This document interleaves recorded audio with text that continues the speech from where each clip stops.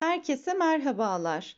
Emir içlerindeki hainin Tülay olduğunu anlasın diyenler beğeni tuşuna basmayı unutmasın. Biz de sayımızı görmüş olalım. Son sahnede Savaş'ın Emir'i vurduğunu düşünmüştük. Ama kimsenin merak etmesine gerek yok. Emir'in vurulduğu an Gülperi'nin gördüğü bir rüya olacak. Gülperi Emir'e bir zarar gelmemesini istediği için savaşın baskılarından sonra Emir'in vurulduğu anın rüyasını görecek.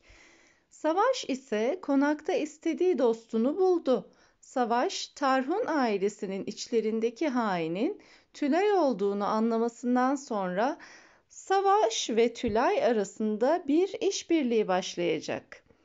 Tülay Gülperi'nin acı çekmesini istediği için de savaşın her oyununa ortak olarak Emir'i çok zor durumlara düşürecek. Emir içlerinde bir hain olduğunu anlayacak ama Tülay'dan şimdilik şüphelenmeyecek.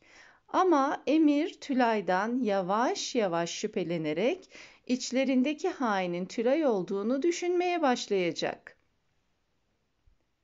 Bunun üzerine Emir Tülay'ı uzaktan takip ettirmeye başlayacak ve zamanla içlerindeki hainin Tülay olduğundan emin olmaya başlayacak.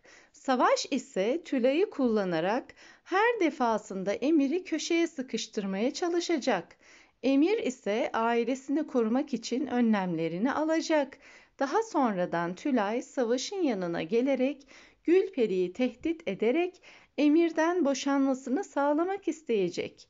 Bunun üzerine Savaş da Gülperi'yi tehdit ederek Emir'den ayrılmasını isteyecek. Geçmişte Gülperi tehditlere boyun eğdiği için de Savaş'ın tehditleri karşısında köşeye sıkışacak. Fakat Emir asla Gülperi'yi zor durumda bırakmayacak. Meltem ise yaptıklarının bedelini ödemeye başladı.